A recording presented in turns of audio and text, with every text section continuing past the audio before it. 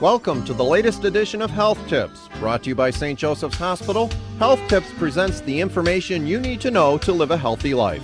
I'm your host, Denis Sweeney, and today I'm talking with Lisa King, a physical therapist here at St. Joseph's Physical Rehabilitation Department. Lisa, once a patient who has had joint replacement surgery leaves the hospital, does that signal the end of rehabilitation therapy? No, the patient needs to continue their exercises that were given to them in the hospital two to three times a day. Now, I understand St. Joseph's provides outpatient physical rehabilitation services in the Big Flats area.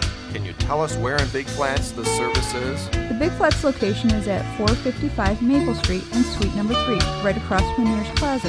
The Big Flats location and St. Joseph's Hospital offer the same rehabilitation services.